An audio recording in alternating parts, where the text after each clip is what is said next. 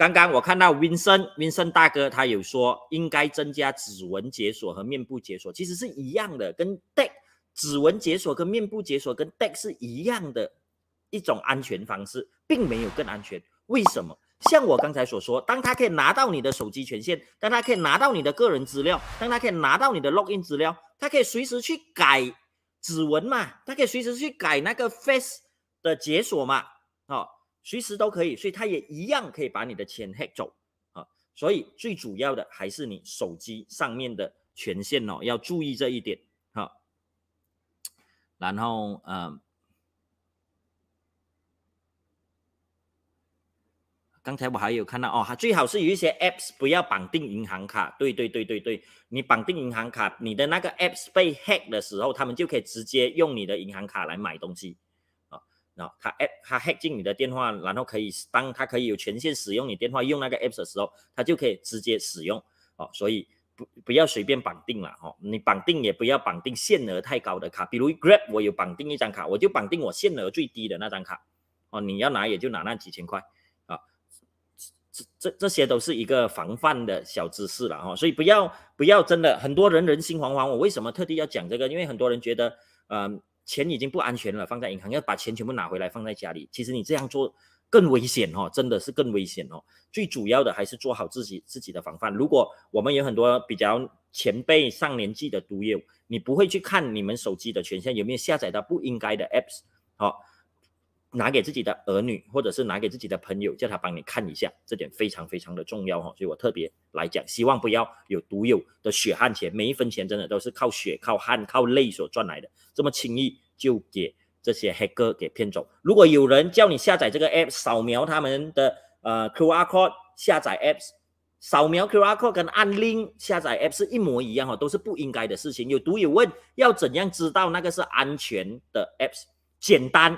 就是只从呃谷歌的 Play Store 那边下载，不要从第三方的呃呃 App Store 第三方的连接、第三方的 QR code 来下载，好，不要哦。苹果是完全不允许的，除非你 Jailbreak 它，你越狱它，不然它是完全不允许。所以它相对安全。所以同样的，如果你在 Play Store，它也是相对安全，因为至少谷歌它这个大企业。他已经负起了审查的责任，而且如果真的这个 App 有问题，只要有一个人投诉，谷歌马上会把它下架，所以它有一层机制在这里，好，它有一层机制在这里。但是你从外面下载的是没有这层保护机制的，所以安全的平台就是你电话本身的平台。当然，如果你用华为，你没有 Google Play Store，那你就是华为 Store，你就从华为 Store 下载，你不要用外面的。很多买了华为要从第三方来下载谷歌来下载。啊，email、Gmail 这些来用，其实也是不安全的哈，因为你不知道你下载的 Gmail，你下载的谷歌，呃，Google Chrome，比如我们拿来讲啊，你下载的 Google Drive 是不是原装的？是不是它已经给人修改了？只是名字一样，但里面的内容是不一样，看起来一样，但实质上不一样。就像很多钓鱼网站啊，银行的钓鱼网站，一模一样的界面，你登录进去，但是那个是骗子的网站哦，很多。但现在已经不流行了。现在从 apps 假 apps 来骗是比较多。以前被骗钱的很多都是登录错的假的网站，所以呃，现在的网络银行你登录，它都不会马上叫你输入名字跟 password，它是分开的。先输入你的 username，然后它会有一组密码，这个暗码是你自己 set 的，或者是一个图片，这个图片是你自己 set 的。你看到暗码，看到图片对了，你才输入密码。所以，任何直接叫你输入的都是假的哦，这点每一位读友要明白哦。所以你 set 的那张图，黑哥骗子是不会知道的，所以他没有办法放那张图，他就只能叫你一起输入。所以一起输入通常有鬼，要非常非常的小心。好，然后啊。